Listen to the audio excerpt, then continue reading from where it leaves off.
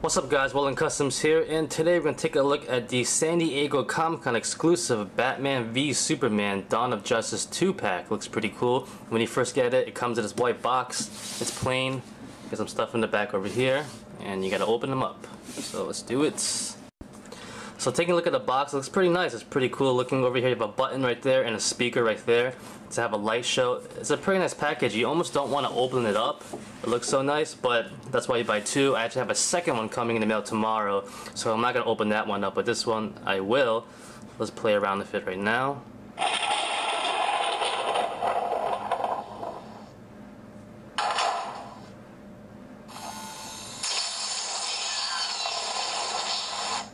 That's pretty cool. Alright, let's open them up. So I took the box out of the packaging and this is pretty intense actually. I don't think this box is really made to be taken apart. Take a look at the back. A lot of wiring. Pretty, pretty intense right there. So I don't really think you're supposed to open it up. Maybe you could. I might test it later. But this is pretty much a display piece. Getting into more detail, you see the bat signal right there. It looks like they're on a roof or something, or maybe not. I could be wrong. Can't really tell. Uh, but let's take a look at it with the lights off.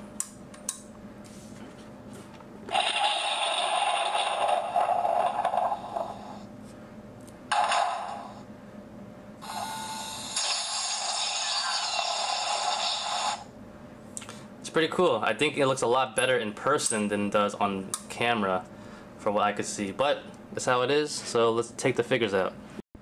Alright guys, so here they are out of the packaging. Now before I start the review, one thing I want to point out is when you take these things out of the packaging, be very careful because the plastic that they're wrapped in, they're tabbed in on the bottom over here and also on the top, so you don't really want to ruin the display piece. I kind of did a bad job on the top over there as you can see, but I could fix it a little bit. But just be careful, especially if you want to pres preserve this display piece. So that's just a note for that. Alright guys, so here they are out of the box. Now before I start the review, I want to point out one thing is that Batman's legs from the knee down are a little bit warped to the eh, going outwards. I think it's because how they were packaged. I might actually stop the video to fix that really quickly and it's kind of bothering me. Uh, but no big deal. Either use a blow dryer or hot water. For this specifically, I use a blow dryer just at the knees aim it right there and then you could warp them straighter and uh, put under cold water. Uh, but we'll put them right there. And look at the size difference. It's awesome. Uh, but another thing I want to point out look at the accessories. They come with a nice uh, stand right here which is the Batman and Superman symbols which is pretty cool. Little pegs for their feet right there. And also Batman actually comes with three batarangs and they're pretty much the ones we saw in the, in the trailer recently. You guys seen that one uh, so they basically have like these silver tips at the end right there. I'm trying to zoom in more. There we go. They have silver tips at the end. Uh, all of them are actually curved. Uh, I don't know if it's the packaging or that's how they're supposed to be, but all of them are all curved. So I'm not really sure how good they would fly in the air like that, but yeah, there you go. And they, all of them fit in his right hand, which I kind of wish went in his left hand because I kind of like when he has a closed fist in his right hand to punch, but yeah, that's how it is. Alright, be right back. Alright guys, be right back and I fixed the legs on Batman a little bit better, at least to the point where it does not bother me at all. Uh, I could probably fix it a little bit more, bring it in, but I'll do that later. And I also do feel like the legs are supposed to be a little bit wider anyway because especially the way the feet are angled out and you could tell also by how the lower thigh and upper thigh match up, but we'll get into more of that later. At least for now, we're going to put Batman to the side because he is the main event, and we're uh, quickly going to take a look at Superman because he basically is just a repaint with a new head sculpt. Alright, so taking a look at Henry Cavill's Superman, here he is next to the Man of Steel version. As you can see, they had the same exact base, but they changed the head and also the cape and repainted the figure. As you can see up close, the head sculpt is a lot better now, in my opinion. That looks like Henry Cavill. Uh, going down the body, you can see the differences they made there. A lighter blue, lighter blue over here, gunmetal over there. Actually, at this buckle, if you want to call it that, it's a square now, or a rectangle. Uh, this is oval. I'm not really sure how it was in the movie. I have to double check the trailer. Uh, going down, he does have an extra line at his boot right there. But pretty much is a repaint for the body But like I said before, the head sculpt is a lot better. And I do like the fact that he comes with a cloth cape. This is not a bad cape itself. Actually, it's pretty good. The way, uh, for Superman at least, it comes down outward like that. But I always like cloth capes. They look more natural to me. They come down straight. And uh, they actually do bring up the body a lot more in my opinion. For articulation, really quickly, the same exact thing. Ball joint head, it goes up a little bit, pretty good. Doesn't go down that much. It goes left and right. Shoulders on hinge joints that rotate, so they go all the way around, up and down. Bicep swivel, one point at the elbow, swivel at the wrist, no ab joint. Waist swivel, T joint and hips. They go forward a little bit, not that much though. They go back barely, and they go in and out. Thigh swivel, one point at the knee, and he has a hinge at the ankle. So exactly the same exact one from the original Superman of Steel figure. Yeah. Pa! Alright, Batman. Alright guys, it's Batman time. Now I have to say, a lot of people will like this, a lot of people will hate it, and a lot of people will be in the middle. But either way, this is it, and this is what we're getting. This is our Batman figure from the movie. You know, I have to say, I'm leaning in, I'm actually in the middle where I'm not really sure if I like it or not. I want to like it, uh, I do like it, but there are some things that kind of bother me. We'll get into that. But I think it really relies on the head sculpt. I think that's the problem that everyone has with it. And to be honest, it isn't that bad. It isn't as bad as it looked like in the promotional pictures, especially in person. Uh, it looks pretty decent.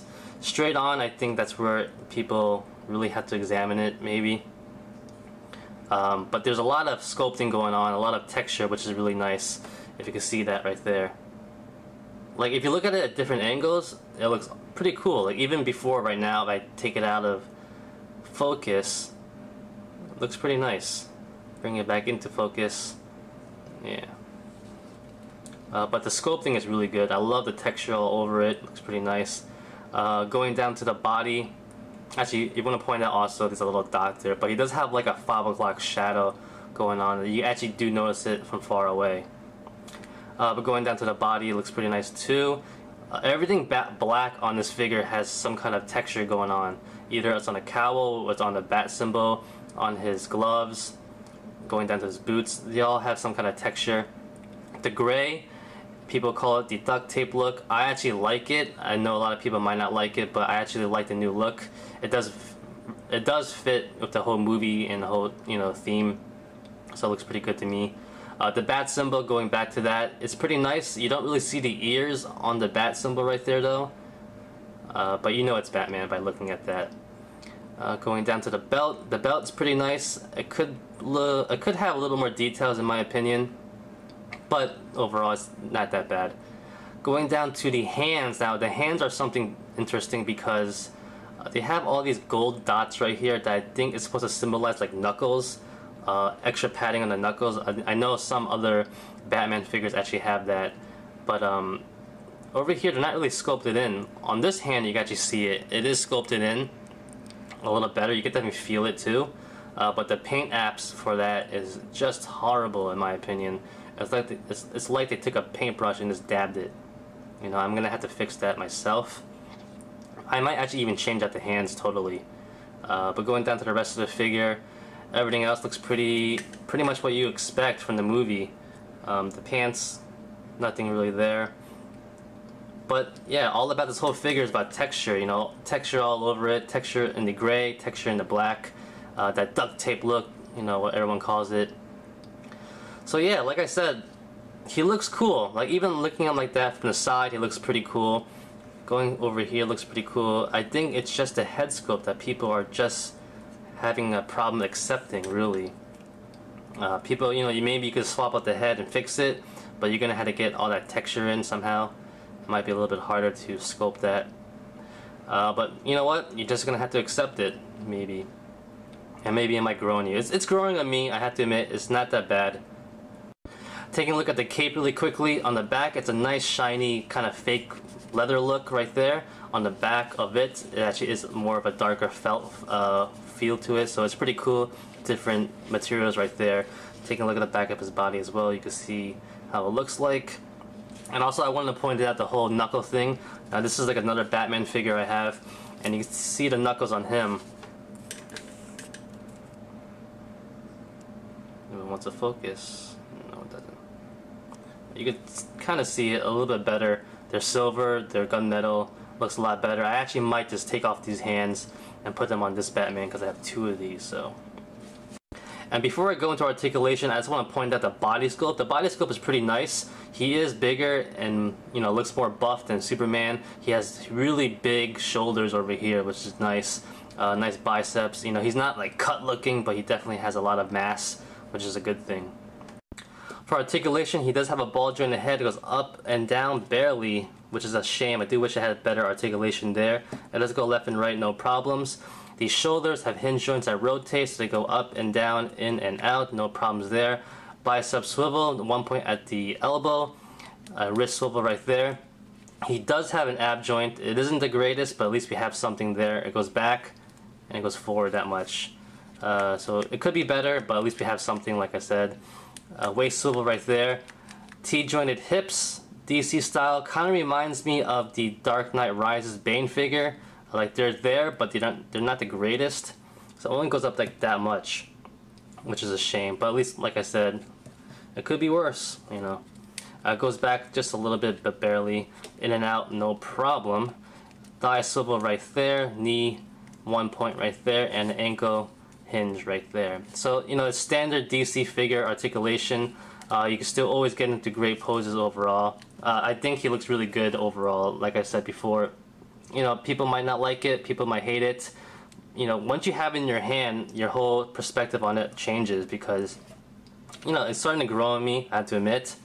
Uh, and you could definitely get into great poses like this. When you bring his head down, his eyes disappear, and he definitely looks like Batman right there, which is pretty cool.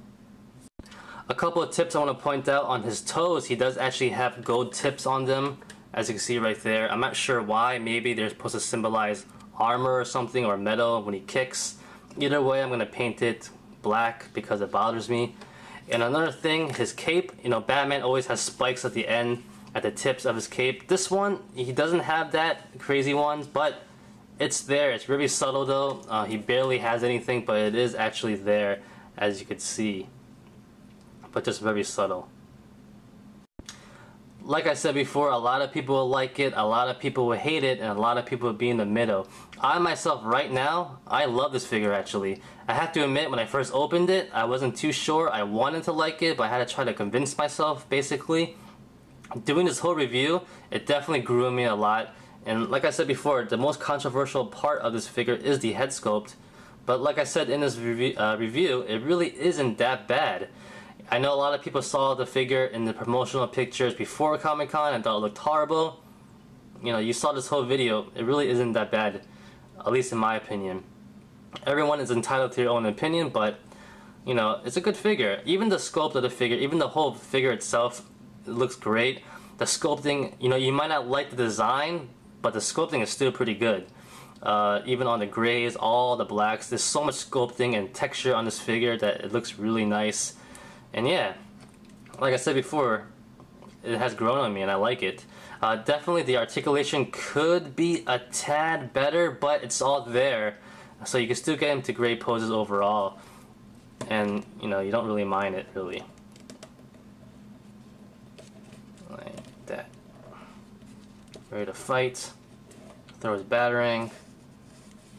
Beat up Superman, you know you know, one honest question you could ask is, does this look like Ben Affleck Batman? Now, I have to say, sometimes it does, sometimes it doesn't. You know, in the trailer, in pictures, Ben Affleck with the cowl on, he has a really big head. It really does. If you lo really look at it, the head is huge with the cowl on. So sometimes it does, sometimes it doesn't. Definitely on the side, it looks pretty much like it. You know, Bat Batman in the movie, he has a really very specific look that we've never seen before, more like in the comic book. So if you're going that route, he definitely looks like Batman. And uh, either way, I don't really mind it. I know they tried hard with the 5 o'clock shadow. I really gotta get rid of that dot right there. But um, yeah, overall, it's really up to your own opinion how you think it looks. But especially with the eyes being, you know, in the shadows of the cowl, it's a good looking Batman head. Size comparisons here, they are next to each other side by side. Batman is a lot bigger than Superman. He's a lot more mass muscle on him. Uh, definitely is taller as well, which I like a lot. And I know a lot of people do like that fact that Batman is actually bigger than Superman. I know it's, it's the opposite in the comic books, but um, for the movie, being more realistic, I think I think it's pretty good. Uh, he should, you know, he's Batman. You know, he's huge. He's in that peak human physical shape, so I think it looks pretty good and they definitely did a great job in my opinion right here. Size comparison, here is Batman and Superman with some of the other DC figures I have lying around. As you can see, they are in a 6 inch scale, so they look pretty good overall, and I had no problems there. Now here is a size comparison with some of the other DC Universe figures. They don't look that bad, maybe you want to take out uh, Superman. Batman doesn't look that bad with them all, to be honest. That's just my opinion. And here they are side by side of some of the other Marvel movie figures. As you can see, whoever thought that we ever have this actual movie figures of our favorite characters side by side. Alright guys, like I said before, these are great figures. Superman, in my opinion, is a great improvement from the last one. Batman, you guys already know, I wasn't too sure about it, now I love it. You guys can have your own opinion. You might not like it, which is fine, but I actually like it. I think it's a great looking figure. And I can't wait to get my second pair. I'm going to have that on my shelf so I can just press the button and not open it. Um, the biggest thing I'm going to change to this probably is the hands like I showed you guys before of the other Batman hands with the knuckles on it. But that's about it. I'm not going to change anything, anything else. I'm just going to accept it how it is. I think it looks pretty cool. And if you guys are wondering why I have that tumbler in the background this whole time. And this is why I had it out. I'm working on a picture really soon, so hopefully it come out nicely. Obviously I had to fix the lighting and background and stuff like that, but you guys get the idea. And that's about it guys, so thanks for watching the review. Share it, like it, get it out there, and like always, comment, criticize, subscribe, do whatever you want to pay attention. Follow me on Facebook, Twitter, and Instagram. Go to.